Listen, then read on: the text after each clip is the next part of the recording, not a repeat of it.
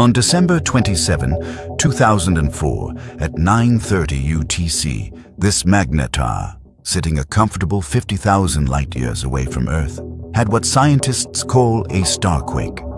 When I say starquake, I don't mean a little tremor.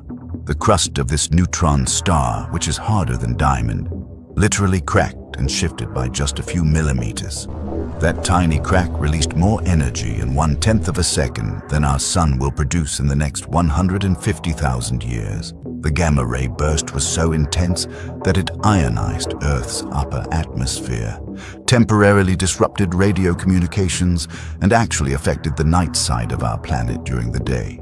Several satellites were temporarily blinded, and some astronomers initially thought we were under attack by an alien civilization because the energy signature was unlike anything they'd ever seen. Remember, this happened from 50,000 light-years away. That's like someone in New York affecting someone in Tokyo by snapping their fingers.